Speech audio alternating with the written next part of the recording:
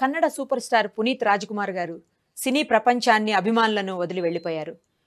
ఆయన జిమ్లో ఎక్సర్సైజెస్ చేస్తూ ఉండగా ఆయనకు హార్ట్ స్ట్రోక్ వచ్చిందని చెప్తున్నారు. అయితే ఆ విషయంపై మనతో మాట్లాడేందుకు ప్రముఖ కార్డియాలజిస్ట్ డాక్టర్ రఘు గారు లైవ్ కాల్లో మనతో జాయిన్ అయ్యారు. ఆయనతో మాట్లాడదాం. డాక్టర్ గారు నమస్తే అండి. నమస్కారం అమ్మా. సార్ డాక్టర్ గారు ఈ సినీ అంటే బాగా సెలబ్రిటీస్ వాళ్ళందరికీ కూడా ఇప్పుడు అందరూ నార్మల్ పీపుల్ కూడా చేస్తున్నారు అనుకోండి జిమ్ చేయటం ఎక్సర్సైజ్ చేయటం అనేది డైలీ రొటీన్లో లైఫ్లో భాగం అయిపోయింది మనకు. అలాంటి సందర్భంలో ఈ పర్టికులర్ హీరో ఎవరైతే పునీత్ రాజ్కుమార్ గారు ఉన్నారో ఆయన జిమ్ చేస్తూ మధ్యలో హార్ట్ స్ట్రోక్తో చనిపోయారని చెప్తున్నారు. ఒక కార్డియాలజిస్ట్గా మీరు దానిలో ఉన్నటువంటి సాధ్యాసాధ్యాల గురించి ఎందుకు అలా జరుగుండొచ్చు అనే విషయం మీద మీ విశ్లేషణ చెప్పండి డాక్టర్ గారు.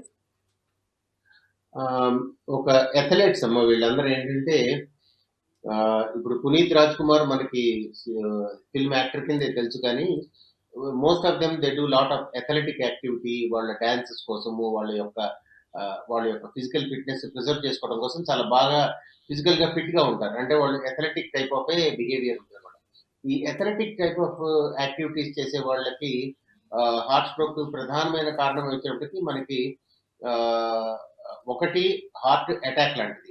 కానీ హార్ట్ అటాక్ అంటే కూడా వీళ్ళకి కారణం ఏంటంటే ఎక్కువ ఎక్సర్సైజ్ చేస్తారు కాబట్టి వాళ్ళకి కొంత గుండె కండరము యొక్క ఎన్లార్జ్మెంట్ కూడా ఉంటుంది. ఐ డోంట్ నో బ్యాక్గ్రౌండ్ అయితే ఆయనకి ఏమన్నా మిగతా మెడికల్ ఎయిల్మెంట్స్ అవి ఉన్నాయో లేదో తెలియదు కాకపోతే ఇందులో రెండు భాగాలు కింద చెప్పుకోవచ్చు. ఒకటి షుగరు బీపీ కొలెస్టిరాల్ అట్లాంటి సమస్యలు ఉంటే కనుక వాళ్ళకి హార్ట్ అటాక్ కానీ హార్ట్ స్ట్రోక్ కానీ అట్లాంటిది వచ్చే అవకాశం ఉంటుంది. రెండో రకం ఏంటంటే ఇందాక మనం చెప్తున్నట్టు వీళ్ళకి ఎక్సర్సైజెస్ బాగా చేసి ఆ హార్ట్ ఎట్లాగైతే మన చేతికి కండలు బాగా బలిష్టంగా ఉంటాయో అదే విధంగా గుండెకి కొండిన కండరం కూడా బలిష్టంగా అయ్యే అవకాశం ఉంది. ఎప్పుడైతే గుండె కండరం బలిష్టంగా అవుతుందో దాని యొక్క దాంట్లోంచి ఎలక్ట్రికల్ ఇంపల్సెస్ అంటే ఎలక్ట్రికల్ కండక్షన్ ఆ యొక్క ఇంపల్సెస్ కూడా వేరే విధంగా జరిగి దానివల్ల కూడా వాళ్ళకి హార్ట్ బీటింగ్ ఫాస్ట్ అయిపోయి స్టాప్ అయ్యే అవకాశం ఉంది. ఇప్పుడు మనం మెయిన్గా ఈ అథ్లెట్స్ ఎవరైతే యూరోపియన్ కంట్రీస్ లోను వాటిల్లోనూ చూసే వాళ్ళకి మోస్ట్ ఆఫ్ దెమ్ రెండో కేటగిరీ చేరుతుంది వాళ్ళు. అంటే ఎవరికైతే మనకి ఈ హార్ట్ కండరం పెరిగి హార్ట్ యొక్క బీటింగ్ ఫాస్ట్గా అయ్యి వాళ్ళు చనిపోతారు. దీంట్లో ప్రధానంగా మనం చెప్పుకుంది ఏంటంటే వెంట్రిక్యులర్ టెకికార్డియా అంటాం. ఆ వెంట్రిక్యులర్ టెకికార్డియా వల్ల వాళ్ళకి ఈ హార్ట్ హార్ట్ ఆగిపోవడం జరుగుతుంది. సాధారణంగా హార్ట్ స్ట్రోక్ వచ్చింది అనుకోండి హార్ట్ స్ట్రోక్ వస్తే కనుక వాళ్ళకి కొంత ఛాతీలో నొప్పి వస్తుంది ఆయాసం వస్తుంది కొంత వాళ్ళు వెను వెంటనే హాస్పిటల్ చేరుకునే అవకాశం ఉంటుంది. ఎప్పుడైతే వెంట్రికులర్ టాకికార్డియా ఇట్లా ఎరిథ్మియాస్ లాంటివి వస్తాయో అప్పుడు వాళ్ళు సడన్గా కొలాప్స్ అయ్యి ఈవెన్ హాస్పిటల్ కూడా చేరుకునే అవకాశం ఉండదు. అంటే ముందుగా అసలు ఏమీ తెలియకపోయి ఉండొచ్చు అంటారా డాక్టర్ గారు? ఇవి ఎవరికైతే ఇప్పుడు ఎటువంటి లక్షణాలు లేవో మీరు నాకు ఫోన్ చేసిన తర్వాత నేను వెనక్కి కొద్దిగా దాని గురించి కూడా చూస్తే కనుక ఆయన సడన్గా జిమ్లో చనిపోయినట్టు నేను చూశాను. నాకైతే ఫస్ట్ హ్యాండ్ ఇన్ఫర్మేషన్ లేదు. కానీ ఎవరైతే జిమ్లో సడన్గా చనిపోతారో వాళ్ళకి వార్నింగ్ సిగ్నల్ లేకుండానే ఇట్లా హార్ట్ బీటింగ్ ఫాస్ట్గా అవుతుంది. దాన్ని వెంట్రిక్యులర్ టెకికార్డియా వెంట్రిక్యులర్ ఫిబ్రిలేషన్ ఆ టైప్ అనమాట అంటే ఎలక్ట్రికల్ సిస్టమ్లో అబ్నార్మాలిటీ ఎందుకని ఎలక్ట్రికల్ సిస్టమ్లో అబ్నార్మాలిటీ వస్తుంది అంటే కనుక వాళ్ళకి ఆ అబ్నార్మల్గా మజిల్ యొక్క థిక్నెస్ పెరగచ్చు సో అది మనకి ఎటువంటి వార్నింగ్ సిగ్నల్స్ ఉండవు దానికి. అంటే హార్ట్ అటాక్గా ఛాతి నొప్పి ఆయాసం ఉండదు. సడన్గా గుండె దడలాగా వచ్చి అది అయి ఉండొచ్చు మోస్ట్ ఆఫ్ ది పీపుల్ ఇప్పుడు మనం ఈ football players they are very well బ్రహ్మాండమైన అథ్లెటిక్ పీపుల్ వాళ్ళు కొలాప్స్ అవడానికి కూడా కారణము ఇదే అనమాట uh, దానికి ఎటువంటి లక్షణాలు ఉండవు. కాకపోతే ఏంటంటే వాళ్ళు లక్షణాలు లేకపోయినా కొంత డిగ్రీ ఆఫ్ దాన్ని వాళ్ళు ఈసీజీ ద్వారా కానివ్వండి before doing that sometimes echo పరీక్ష ద్వారా కానివ్వండి ఏదైనా ప్రాబ్లం ఉందేమో చెక్ చేసుకుంటూ ఉన్నా కూడా వాళ్ళకి అది తెలిసే అవకాశం ఉంటుంది. అంటే సార్ అసలు ఎలాంటి సిమ్టమ్స్ లేనప్పుడు లేకపోతే వాళ్ళకి ఎలాంటి డౌట్ లేనప్పుడు చెక్ చేసుకోరు కదా నార్మల్గా ఎస్ చెక్ చేసుకోరు. కానీ ఎవరైతే ప్రొఫెషనల్ అథ్లెటిక్ యాక్టివిటీస్లో వెళ్తారో అందుకని యూరోప్లో అట్లా ఇట్లాంటివన్నీ జరుగుతున్నాయి కాబట్టి ప్రొఫెషనల్ అథ్లెటిక్ యాక్టివిటీలోకి వెళ్ళే వాళ్ళు డెఫినెట్గా వాళ్ళ ఫండమెంటల్ ఈసీజీ అనమాట ఆ ఈసీజీలు కూడా చాలా సార్లు పట్టబడదు ఎందుకంటే అందులో ఉండే మార్పులు కూడా చాలా సూక్ష్మంగా ఉంటాయి.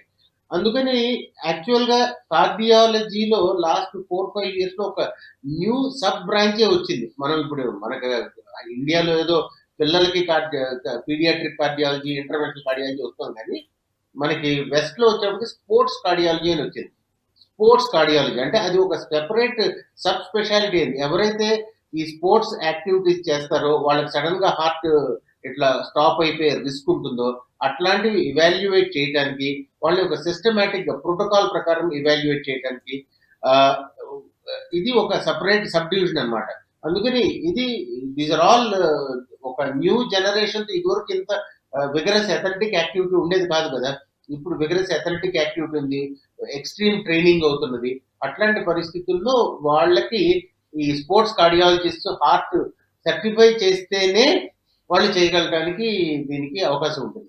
ఫర్ ఎగ్జాంపుల్ ఒక చిన్న స్టోరీ షేర్ చేస్తాను నిరుపమ్ గారు.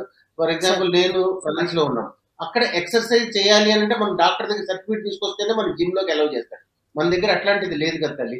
సో ఒక ఒక సర్టిఫైడ్ ఒక ప్రాపర్ కార్డియాలజీ సర్టిఫై చేస్తేనే వాళ్ళు అథ్లెటిక్ యాక్టివిటీ పార్టిసిపేట్ చేయాలి. అంటే for even for doctor also అది నెసెసరీ ఇది యూరోప్లో వేరేజ్ మనకి అట్లాంటి రెగ్యులేషన్స్ లేవు కాబట్టి we are still not that evolve అన్నమాట. ఓకే హార్ట్ ప్రాబ్లమ్స్ ఉన్న వాళ్ళు ట్రెడ్మిల్ లాంటివి చెయ్యొద్దు అని కూడా చెప్తా ఉంటారు కదా డాక్టర్ గారు మామూలుగా కూడా? అది అపోహమ్మ. Heart problem untreated heart problem ఏదైనా కూడా ఎక్సర్సైజ్ అనేది is reasonably good to the heart number one ఇప్పుడు పునీత్ రాజ్ కుమార్ గారికి ప్రాబ్లం అయింది కానీ అది వారికి ఉండే problem is not heart attack related heart attack వచ్చిన వాళ్ళు కూడా హార్ట్కి వైద్యం చేయించుకున్న తర్వాత reasonable sort of exercise good exercise చేస్తేనే వాళ్ళకి హార్ట్ రికవర్ అవుతుంది. అంతేగాని వాళ్ళు ఎక్సర్సైజ్ చేయకుండా ఉంటే గుండె రికవరీ కాదు. అది మాత్రం వెరీ క్లియర్ కట్ కాకపోతే ఏంటంటే ఎంత ఎక్సర్సైజ్ చేయాలి ఏ మేరకు చేయాలి అనేది ఒక ఒక డిగ్రీ ఆఫ్ ప్రిస్క్రిప్షన్ ఇప్పుడు మనం మెడికల్ ప్రిస్క్రిప్షన్ ఎట్లా ఇస్తారో ఎక్సర్సైజ్ ప్రిస్క్రిప్షన్ కూడా తీసుకుని ఎంత మోతాదులో ఎక్సర్సైజ్ చేయాలి క్రమేణా దాన్ని ఇట్లా బిల్డప్ చేయాలి అనేది డాక్టర్ యొక్క సలహా మేరకు చేయటం అనేది చాలా ఇంపార్టెంట్ కాబట్టి ట్రెడ్మిల్ కూడా చెయ్యాలి హార్ట్ పేషెంట్ కూడా చేయకుండా ఉండకూడదు. నార్మల్గా హెల్దీ పర్సన్కి అసలు ఇంతసేపు ఎక్సర్సైజ్ చేయాలి అంతసేపు చేయాలి అని అట్లా ఏమన్నా ఉంటుందా సార్? లేకపోతే మన బాడీ కెపాసిటీని బట్టి చేసుకుంటూ పోవడమేనా? రెండు ఇష్యూస్ ఉంటాయి నిరుపమ ఇందులో అండి. ఒకటి ఎక్సర్సైజ్ హార్ట్ అటాక్ వచ్చిన వాళ్ళు ఎట్లాంటి ఎక్సర్సైజ్ చేయాలి? రెండోది హార్ట్ అటాక్ రాకుండా ఎట్లా ప్రివెంట్ చేసే వాళ్ళు ఎక్సర్సైజ్ చేయాలి? హార్ట్ అటాక్ రాకుండా ప్రివెంట్ చేసే వాళ్ళకి కనీసం ఒక వారానికి నూట యాభై నిమిషాలు ఎక్సర్సైజ్ చేయాలని రికమెండేషన్ ఇది అమెరికన్ గైడ్ లైన్స్ ప్రకారం. అంటే ప్రతిరోజు ముప్పై నిమిషాలు చొప్పున ఐదు రోజులు వారంలో కంపల్సరీగా ఎక్సర్సైజ్ చేయాలి. ఆ ఎక్సర్సైజ్లు ఏంటంటే వాకింగ్ కానివ్వండి జాగింగ్ కానివ్వండి స్విమ్మింగ్ సైక్లింగ్ అట్లాంటి ఎక్సర్సైజ్. ఇది నూట యాభై నిమిషాలు వారానికి చేస్తూ ఒక మిత మోతాదులో చేస్తూ దాంతో పాటు థర్టీ మినిట్స్ పాటు రెసిస్టెన్స్ ట్రైనింగ్ అంటే వెయిట్ లిఫ్టింగ్ లాంటి ఎక్సర్సైజ్ చేస్తే కనుక హార్ట్ అటాక్ రాకుండా ఉంటుంది. రెండో గ్రూప్ ఏంటంటే హార్ట్ అటాక్ వచ్చిన వాళ్ళు స్లో స్లోగా ఎక్సర్సైజ్ కెపాసిటీని బిల్డ్ చేసుకుంటూ వచ్చి వాళ్ళకి కూడా వాకింగ్ లాంటి ఎక్సర్సైజ్ ప్లస్ వెయిట్ లిఫ్టింగ్ లాంటి ఎక్సర్సైజ్ రెండు ఎక్సర్సైజ్ చేస్తేనే వాళ్ళు కూడా హార్ట్ ప్రాబ్లం నుంచి బయటపడతారు. మనం హార్ట్ అటాక్ వచ్చిన తర్వాత ఎక్సర్సైజ్ చెయ్యకూడదు అని అంటే అది అపోహ మాత్రమే. ఎక్సర్సైజ్ చెయ్యాలి వాళ్ళ యొక్క ఎక్సర్సైజ్ కెపాసిటీని బిల్డ్ చేయాల్సిన అవసరం ఎంతైనా ఉంది. రైట్ డాక్టర్ గారు. ఎక్సర్సైజెస్ విషయంలో ఎలాంటి జాగ్రత్తలు తీసుకోవాలి ఎలా చేయాలి ఎలా చేయకూడదు ఇవన్నీ కూడా మాకు తెలియజేసినందుకు థ్యాంక్ యూ సో మచ్ నమస్కారం అండి.